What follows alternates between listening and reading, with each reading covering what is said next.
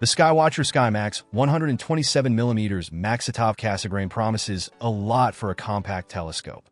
Let's dive into its features and see if it lives up to the hype. This Mak boasts expertly matched optics, which is crucial for sharp, high-contrast views. The 94% reflectivity mirror coatings, achieved with a borosilicate primary mirror, aluminum coating, and quartz overcoat, should minimize light loss and enhance image brightness. One key advantage is its portability. The compact design makes it easy to transport and set up, perfect for grab-and-go observing sessions. The included Vixen-style dovetail mounting bar is a welcome addition, ensuring compatibility with a wide range of mounts. The added 1/4-20 tripod thread underneath provides further mounting flexibility, even allowing you to use standard photographic tripods. Stray light can ruin a good view, but the fully baffled tube aims to eliminate this issue, promising darker skies and increased contrast.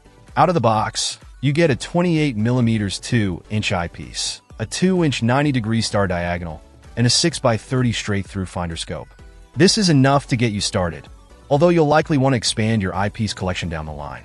The 127mm aperture is ideal for lunar and planetary observation, offering detailed views of craters, the Martian surface, and Jupiter's cloud bands.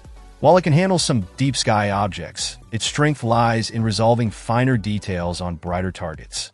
Overall, the Skywatcher SkyMax 127mm appears to be a well-rounded Maksutov Cassegrain, offering excellent portability, quality optics, and a decent accessory package. Stay tuned for our upcoming field test, where we'll put this telescope through its paces under the night sky. Check out the video description for updated price. And thank you for watching this video.